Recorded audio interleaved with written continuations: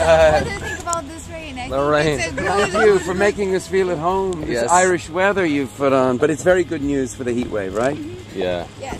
How is your back? Oh. How is your back? Because Feel, feeling strong.